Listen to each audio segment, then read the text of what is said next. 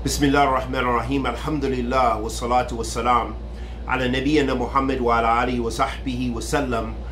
Amma ba'd, continue on in our reading of Sheikh Muhammad ibn Abdul Wahhab al-Wasabi, rahmatullahi alayhi, rahmatin wasi'ah, his treatise, uh, which is advice to the student of knowledge and advice for those who try to embark on the steep path of seeking knowledge and really seeking Allah subhanahu wa ta'ala, seeking to draw near to Allah Azza wa Jal. And that shows us also, ahabatifillah, that talib al-ilm is a wasila.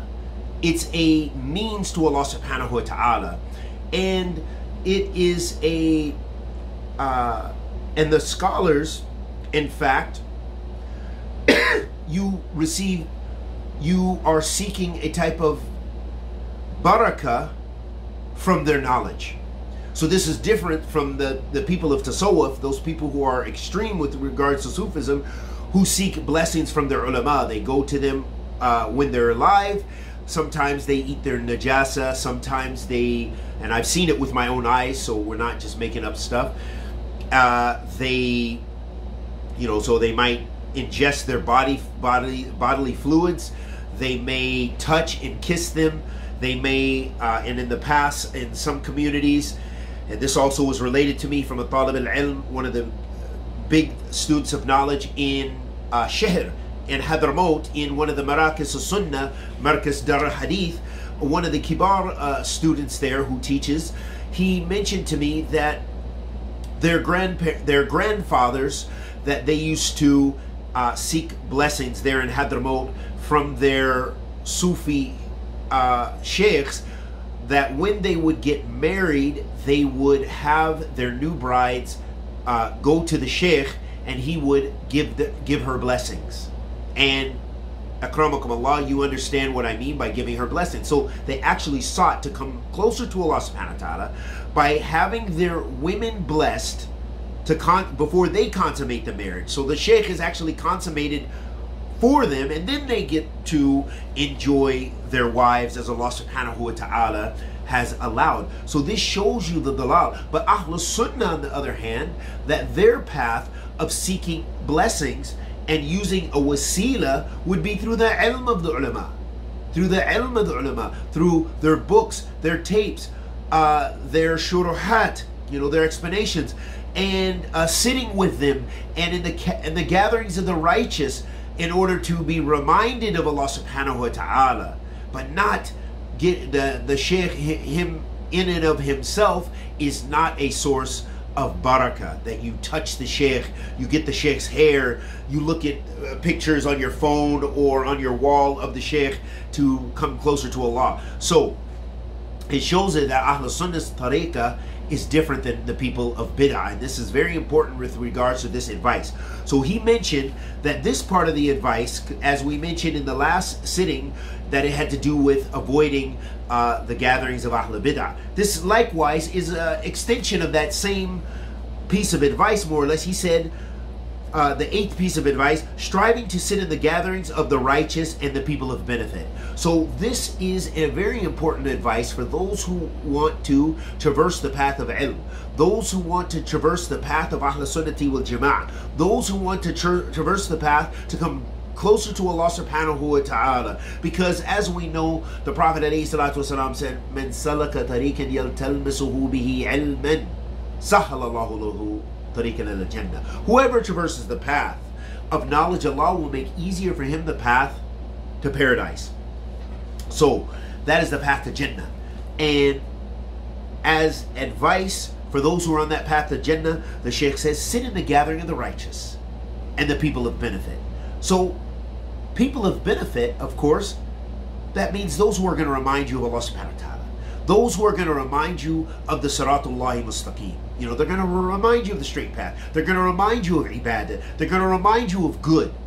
And likewise, the righteous, a woman, are those who are reminding you and are an example for you uh, righteousness and to do righteous and good deeds. The salihun. And so, from amongst the most esteemed from amongst them is Ahl al-Ilm, is the people of knowledge.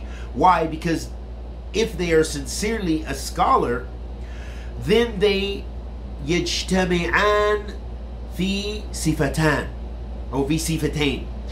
They combine two traits.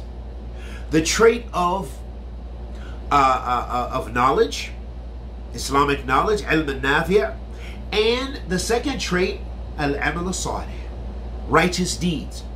So they are uh, the amalina bil ilm. They are those who are practicing their knowledge.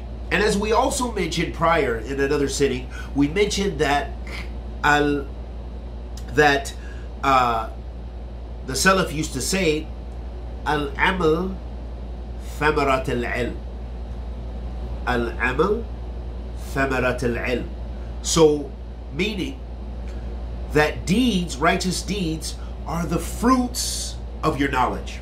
So that's what we need to do. May Allah subhanahu wa ta'ala bless us with ilm nafiya, wa rizqan tayyiba, wa amalan mutaqabbilan. Ameen.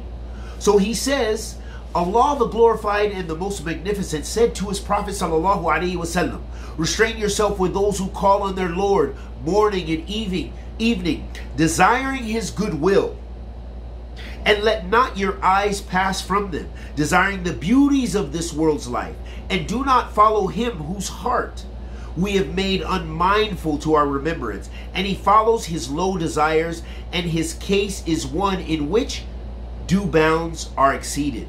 So here Allah subhanahu wa ta'ala is speaking to the Prophet sallallahu alaihi wasallam, and this is an example for us and a command for us to be with the people of good, as the Sheikh is, is using this uh, ayah, is dalil for what he is uh, discussing, this principle or this piece of advice, to sit with the righteous and avoid the people of shar, meaning the people of sinfulness, the people who don't remind you of Allah, the people who have no benefit, and the people of innovation and desires.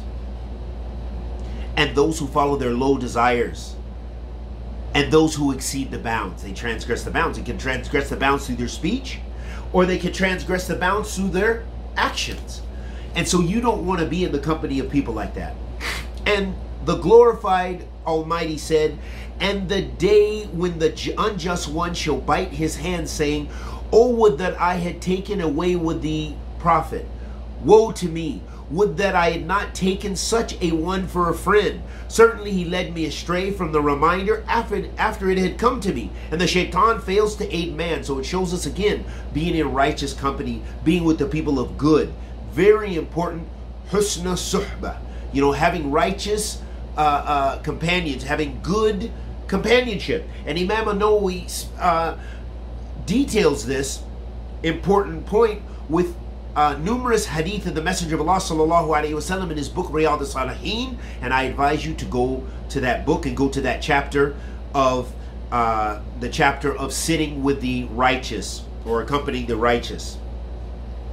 The Shaykh then said it was mentioned in Sahihain that Abu Musa al-Ash'ari radiallahu ta'ala said the Messenger of Allah sallallahu alaihi wasallam said, the similitude of the righteous gathering and the evil gathering is like the one who carries musk and the blacksmith. The one who handles musk would either offer you some free of charge, or you would buy it from him, or you smell its pleasant fragrance. And as for the blacksmith, he either burns your clothes or you smell a repugnant smell.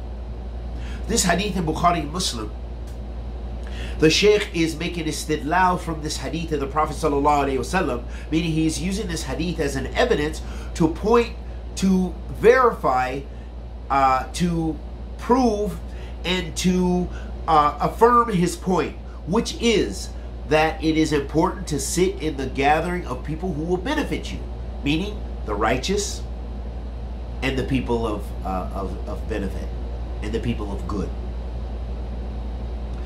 And the Prophet ﷺ in the hadith made that similitude uh, between a, a, a, good company and bad company. The good company, similar to the one who sells atar, who sells the uh, uh itar, who sells the uh, the the oils, the, the the smell goods, the perfumes.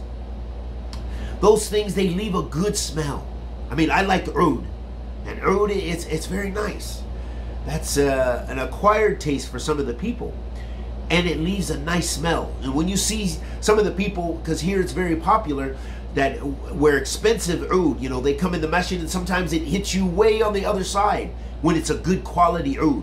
So they left something good with you and left you with a good feeling. I like this new masjid I'm praying in because they burn oud a lot in there. So when you come in, it's nice and fresh, uh, you know, because it's new and the new smell of the carpets and the oud is coming toward you.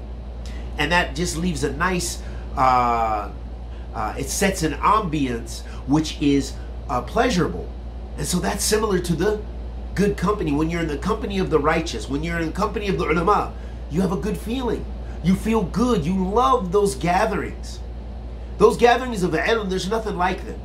So I advise those people who have that opportunity to take advantage of that opportunity and those who don't to strive to do so. Because there's nothing like sitting in the company of the ulama especially major scholars to really benefit from them and just watch them and listen to them and learn from the, even their their answers how they answer questions how they deal with their students how they are reserved and how they they they their their strength and quwwah and ilm istinbat and, and, and, and deriving the uh, rulings from the text. The Sheikh then said, Moreover, I advise you, moreover, I advise you to be very far away from innovated partisanship, hizbiyah, mubtadi'ah, and those innovative groups like Ikhwan al-Muslimin, Jamaat al-Tabligh, and Jamaat al-Jihad, the ignorant imbeciles. You should strive to sit in the gatherings of the people of knowledge from Ahlul Sunnah and seek their counsel about new issues. Beware of the whisperings of the Hizbi groups, for verily they resemble the whispering of the shaitan. He gives them promises and excites vain desires in them, and the shaitan does not promise them except deception. That uh, Allah subhanahu wa ta'ala says in uh, Surah An-Nisa.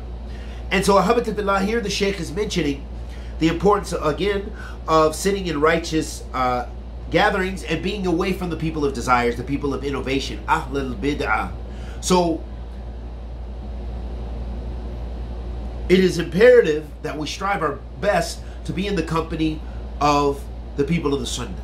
That when where wherever you are, strive your best, do the best you can, fear Allah as much as you can, to sit in the company of Ahlul Ilm, to sit in the company of Ahlul Ilm min Ahlul Sunnah because you will find people who have knowledge from Ahlul Bid'ah. But you don't want to be in their gatherings if you can help it. So strive your best to not be, and there are many reasons for this, and this is an asl from the usul of Ahlul Sunnati wal Jama'ah, and we'll talk more about it in the next sitting. Wa sallallahu wa sallam ala Muhammad.